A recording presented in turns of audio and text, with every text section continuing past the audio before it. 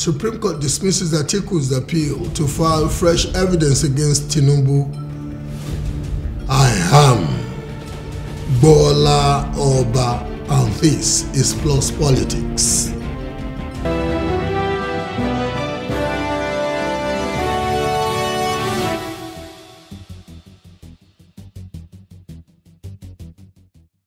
The Supreme Court of Nigeria has dismissed the application by the candidate representing the People's Democratic Party PDP in the 2023 presidential election, Alhaji Atiku Abubakar, to submit fresh evidence in his case, which he filed asking the court to void the pronouncement of the All Progressive Congress's candidate, Bola Ahmed Tinubu, as president. Justice Inyang Okoro, who led the seven member panel of justices, while reading the judgment, said, I quote, the 180 days imposed for hearing of election petitions is immutable and cannot be extended, unquote. He also went on to say, I quote, there is no paragraph in the petition to accommodate a case of forgery, unquote. The court held that facts and documents not filed in the petition cannot be considered in the appeal before the apex court and added that, quote, since the lower court has no jurisdiction to allow fresh depositions, this court also cannot allow tendering of fresh and additional depositions, unquote.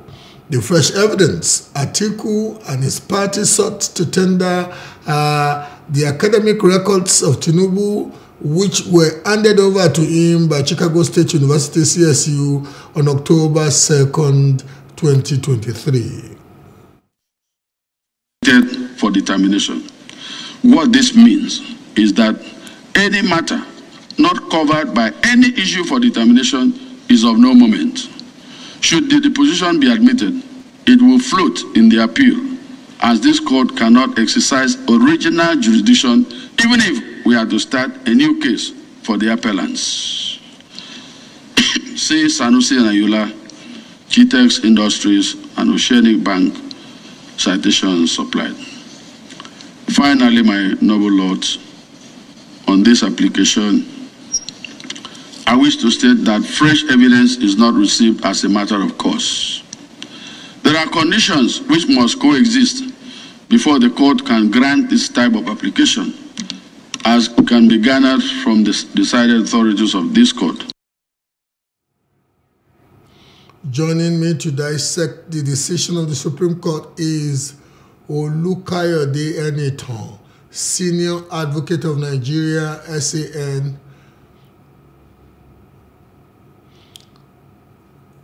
Senior Advocate, it's good to have you on the program. Thank you. Thank you for the invite. Uh, can you give us a synoptic review of what transpired at the Supreme Court today? Well, um, yes. What uh, is that the Supreme Court of Nigeria delivered its judgment on the uh, appeal in respect of the decision of the uh, Presidential Election Petition Court, which is the Court of Appeal, uh, sitting as Court of First Instance. And the decision, of course, was two-pronged because there was a fresh application brought by the appellant in the person of uh, Alhaji Atiku Abubakar to have the Supreme Court admit fresh evidence uh, by way of the deposition made by the uh, registrar of um, the Chicago State University in respect of whether um, the President Bola Ahmed Tinubu attended the university, and secondly, in respect of his uh, certificate, which had been to the INEC when the, his um, forms were submitted. The Supreme Court made short work of that application, uh, declaring it as uh, being unmeritorious. And in doing that, the Supreme Court went ahead to state the conditions under which it can receive fresh evidence, um, which are five, particularly that, and that's applicable to civil matters or civil appeals generally. The court went ahead to hold that with return petition, the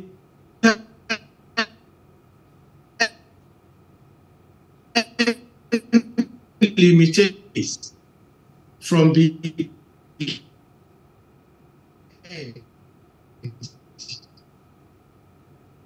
cannot be circumscribed to every court sitting as an election petition court, whether called court or tribunal, because um, the PDP made an argument which uh, my Lord Garuba stated to be spacious in, in the fact or to the extent that the submission was made that the Court of Appeal was not mentioned in the Constitution, and as such, the 180 days should not apply.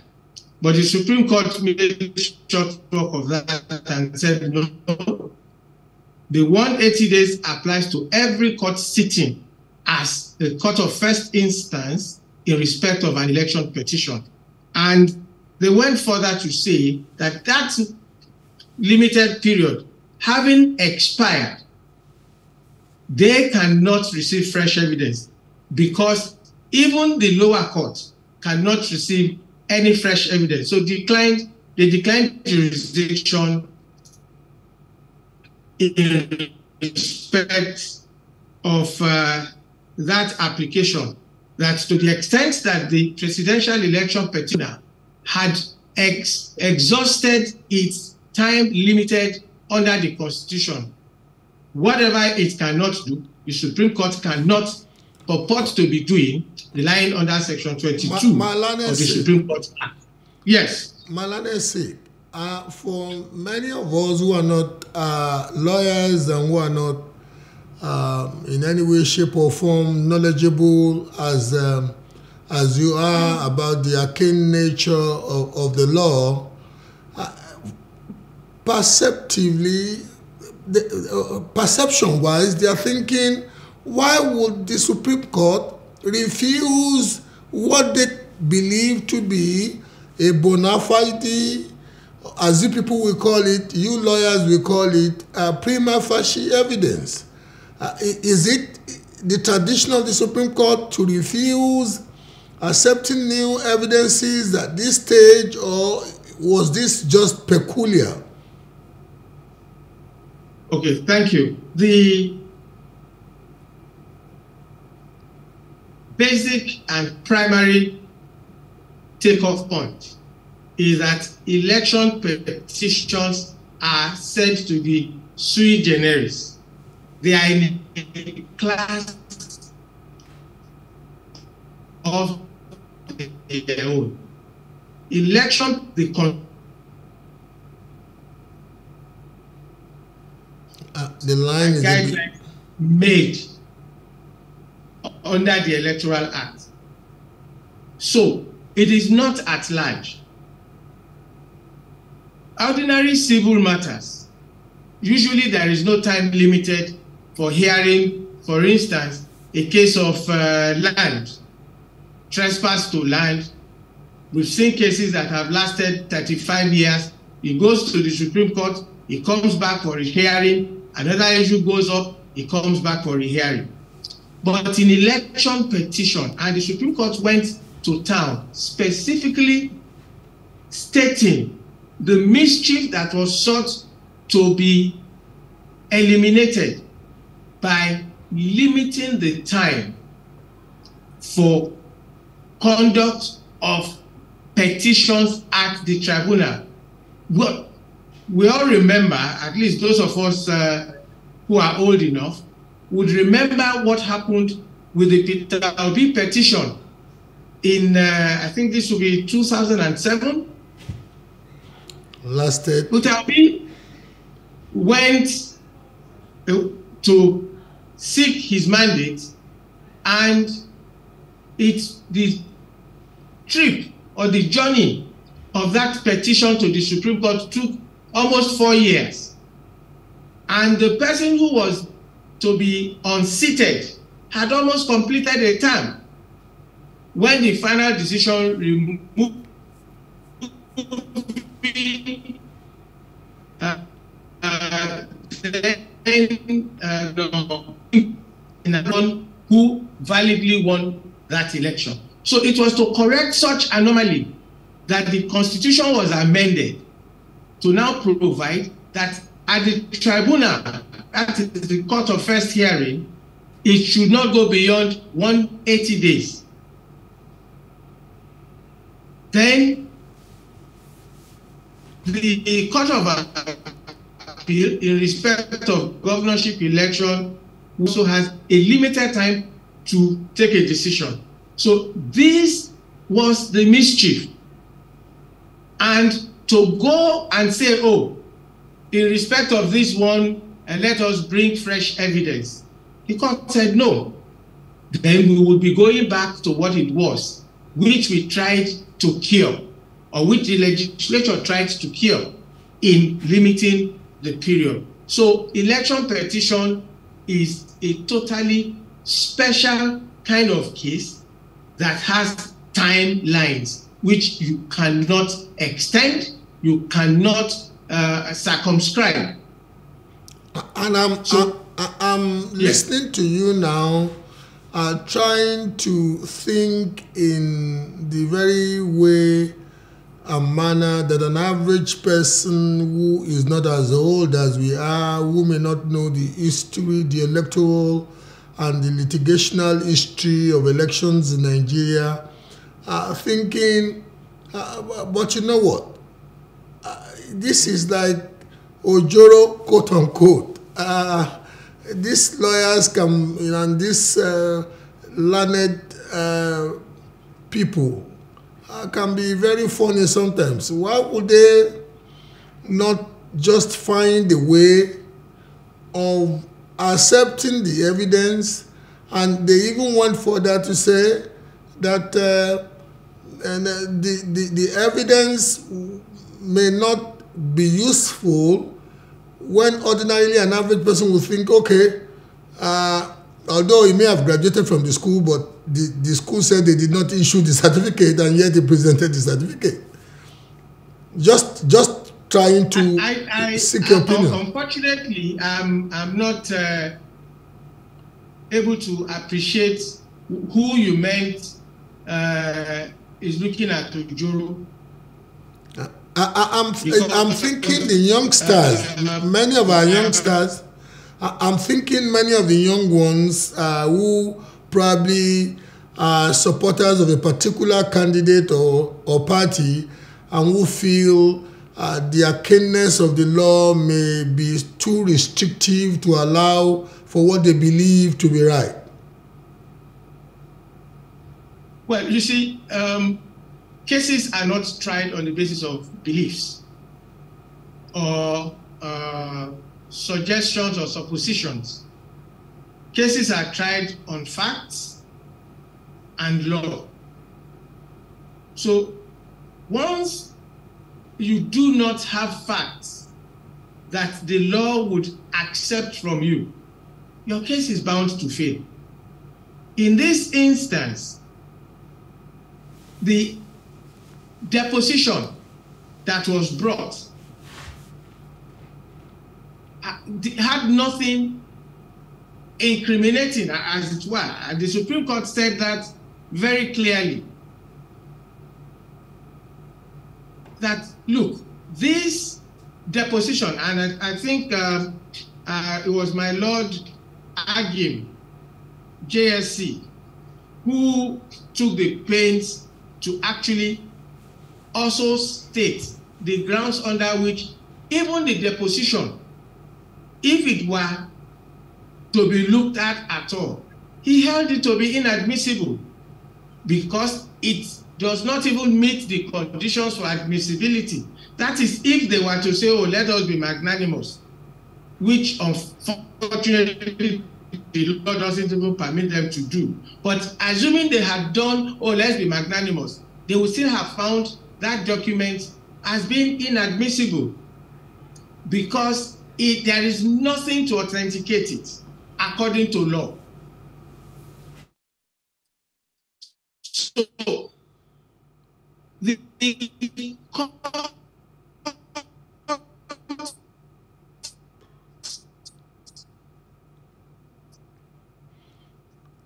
was very, very clear. was very, very. Malana Sikh, Malana Sikh, let's go for a short break. Your line is a bit 4G. I think is uh, is the telco. Uh, let's go for a short break. We'll bring it up. We'll bring you on back.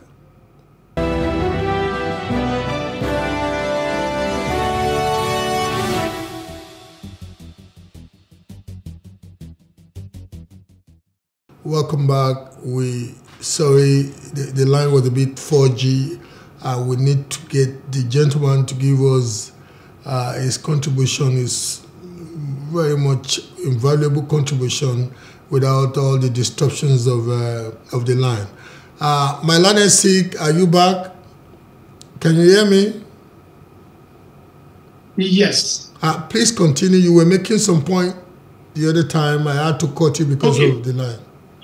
Yes. Um, so the Supreme Court equally went ahead to hold that this deposition that was being sought to be brought in is not anchored on any of the grounds of appeal that were filed. It is not anchored on any issue that has been presented for agitation before the Supreme Court. So there is virtually nothing, even if they were to say, let us admit it, though they held it to be inadmissible for want of jurisdiction. But if they had chosen to lean over backwards to bring it in, there was no nail in the grounds of appeal or in the issues formulated. The seven issues formulated, none of them could anchor this fresh evidence. So it was rightfully swept into the dustbin of ignominy. Uh, uh, let me let me take you now in the direction of the second petition because two petitions were dealt with today. Uh, we know that on Monday, yes, the petition of the APM was uh, was withdrawn or uh, somewhat uh, was withdrawn and uh, so, but, accordingly dismissed. Uh, you have taken quite uh, a good number of time within the context of the limited time we have to to give illumination to the reasoning of the of the law lords on on uh, uh, Vice President Atiku's petition. On yes on the petition of the presidential candidate of the Labour Party. What's your what's your take of the reasoning of the of the court? Well, the Labour Party petition also in respect of oh sorry in respect of the appeal six issues were argued his lordship okoro JSC held that of those issues five had already been taken care of in the Atiku petition. And the only one that was unique to the Obi petition has to do with the issue of double nomination of uh, the vice president And they held clearly that that issue should not even, of course, having resolved five of the issues in the Atiku petition, similar issues that were raised in the Atiku petition, there was no need to go step by step analyzing the and arguments and them all over again. Those issues, yes, they held that those issues which are common should abide what has been decided in the Atiku petition, um, in the Atiku appeal. So they then zeroed in on the only one that was unique to the Peter Obi appeal, and that was on the specific issue of double nomination of the vice president, which they held should not even have been raised at all because whilst the petition was being heard, the Supreme Court had decided that issue that the vice president was not doubly nominated. And having decided that issue, to bring it before them again that they should look at it is totally unwarranted, unnecessary, and a waste of, of, of, of scarce judicial time. So they were not going to even uh, uh, look at that one because a decision had been made. And that in the decision of the uh, presidential election petition court, they had referred to the decision of the Supreme Court on that issue. So if the lower court has referred to the decision of the Supreme Court on an issue, why are you still appealing on that singular point, in respect of which the decision was anchored on a Supreme Court decision? So they threw that out immediately, and the other five issues having abided what had been decided in the Atiku appeal, that appeal was dismissed. In fact, it is the, the, the fastest decision that uh, most of us have witnessed in respect of uh, an appeal that was uh, strenuously argued and in respect of which the grounds of appeal had uh, well over uh, 50 grounds. It, the entire thing took less than uh, five minutes.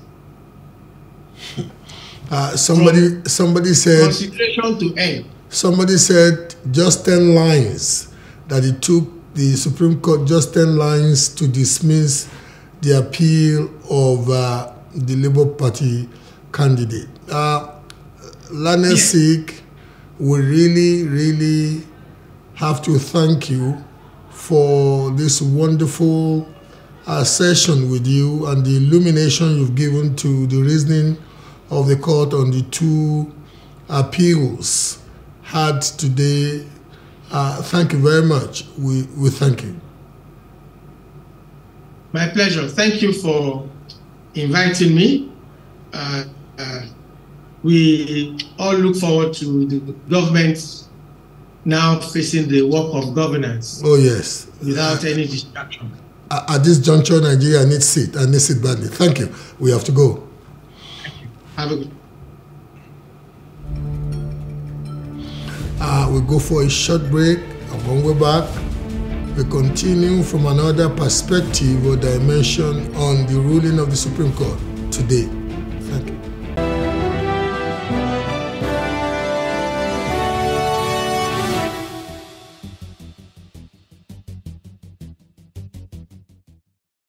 President Bola Tinubu has welcomed the Supreme Court verdict, which upheld his electoral victory at the February 25th presidential election. He also sought the buy-in of Nigerians, promising to exceed expectations in terms of service delivery in the remaining years of his administration. He added that the court has done justice to all issues put up for consideration in the petitions on the merits of the law without fear or favor. However, there has been various reactions to the Supreme Court's decision, and one to discuss at this juncture is how a Nigerian in the UK diaspora views today's Supreme Court judgment. Joining me to discuss this is Eric Chike Nzekwe, Eric Chike Nzekwe, humanity advocate. Eric is based in our UK diaspora. Eric, good to have you on our set virtually this evening. Yeah, thank you. Uh, thank you, viewers. We really, we really want to thank you so much.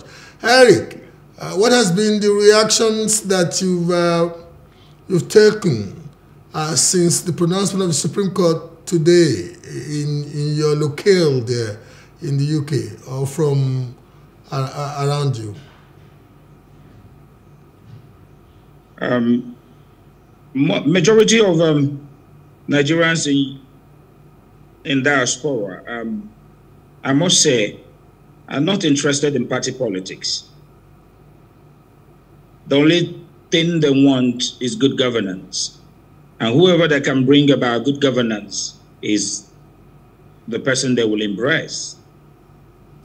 Um, they've yearned for a change in government and the style of governance that have continued um, for years in Nigeria, and which has not favored the masses. So that was that was this vavavoom about having a younger person to govern the country so that at least we can be able to see a change. So as it is, as it is now, you have a choice. The court has spoken. Um, the only thing I believe that we will all do is to embrace the new government and support him in whichever way possible. I believe a lot of people are not happy. Some are happy. But then that is our country, and we don't have any other country but Nigeria. So it is incumbent on the president, Ahmed Tinubu, to change the narrative. And for all those negative views and the negative stories that have lingered, it's just for him to change the narrative and bring about good governance. Because in Nigeria, there are only two industries in Nigeria at the moment and that's uh, politics and religion. And the people are the commodities. So if Tinubu can bring about a positive change, I think he will rewrite history. So all these negative things that have surrounded his uh, winning the election, people can easily forget it. But if it continues with what happened with previous government of uh, Buhari, then there will be a big problem and he will not get the diaspora support. But if you begin to change things now, and then I think and I believe the diaspora will certainly embrace him. But if things continue to go the way it's going, um, the yearning of change will continue.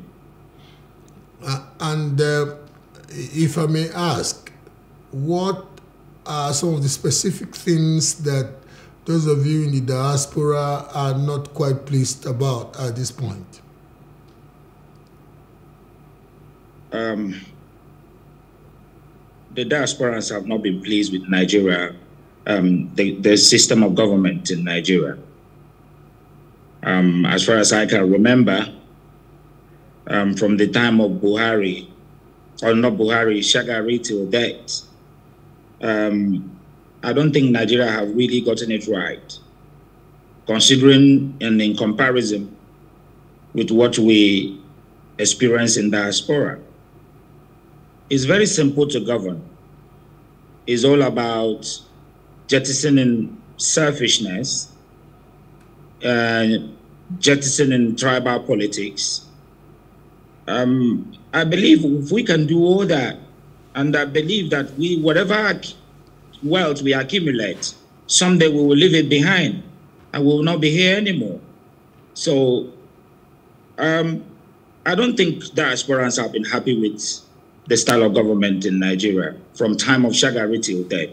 So let's hopefully, if Tinubu can change the narrative, that would be good. And I believe that the diasporans don't have any trust in the judiciary in Nigeria.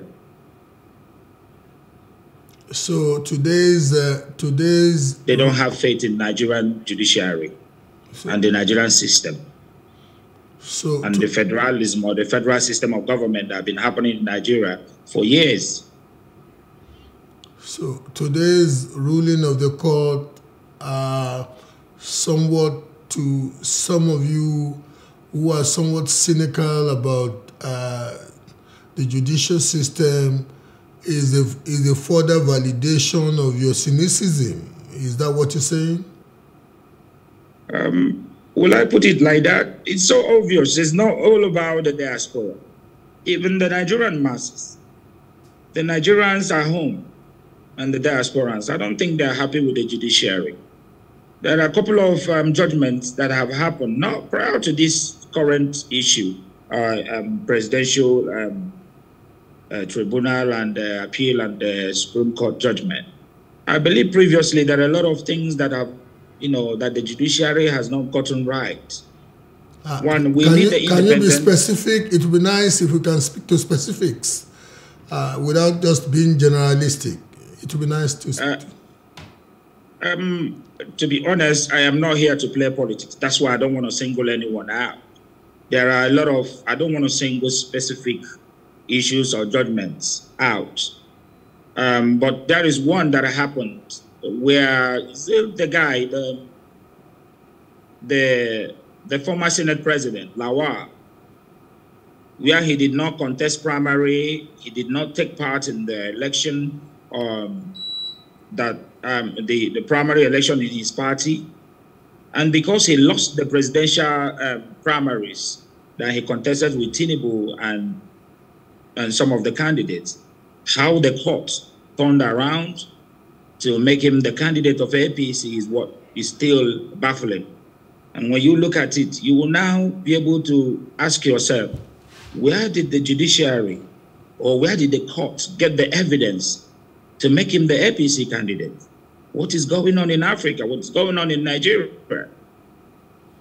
These are things I believe that the current, um, the incumbent who happened to uh, win the court case today, um, Bola Tinubu, I think he needs to do a lot so that he can write his name, you know, he can write his name on marble. So for you, for you at this point is more about uh, looking at the future and uh, leveraging the opportunity uh, to make a positive turnaround in, the quality of governance to be delivered to the people. Exactly, you nailed it. That's exactly. You know, this meeting was impromptu. I, you I just know, informed me. You just informed me half an hour ago.